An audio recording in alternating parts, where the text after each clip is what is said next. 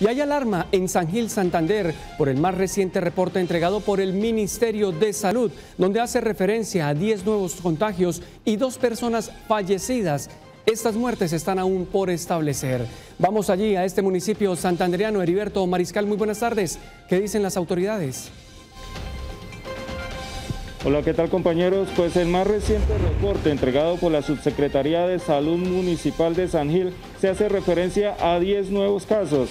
El reporte de nuevos positivos de COVID-19 para San Gil, publicado por las autoridades de salud, hacen referencia a 10 casos, los cuales corresponden a tres hombres entre los 33 y 58 años y siete mujeres en edades entre 22 y 62 años, todos asintomáticos. Con esto San Gil suma hasta el momento 92 casos confirmados, de los cuales 68 están activos, cuatro de ellos hospitalizados y uno en UCI.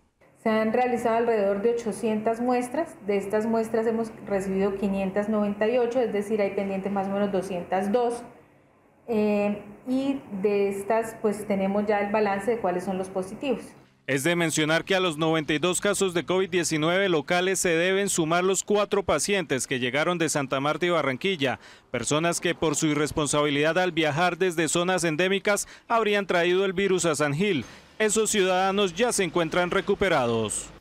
Se está a la espera por parte del municipio de San Gil a la confirmación de dos posibles fallecimientos por COVID-19, según lo reportado en la noche anterior por parte de la Secretaría Departamental de Salud son los fallecidos que tenemos nosotros reportados. Lo que pasa es que al departamento le hace falta uno, que fue el último que se, que se registró y que fue eh, confirmado como COVID-19 pero son los tres casos que venimos nosotros informando desde la semana anterior.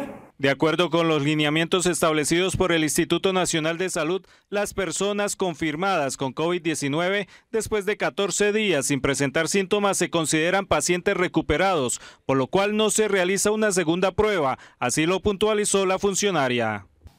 Se reitera el llamado que hacen las autoridades en el municipio de San Gil para adoptar y acatar las medidas establecidas con el fin de evitar más casos de COVID-19 en esta localidad. Esta es toda la información por el momento desde la provincia de Guanentá. Continúen compañeros con más noticias desde estudios. Este fue un informe de Heriberto Mariscal Gómez para Oriente Noticias. Estamos informando.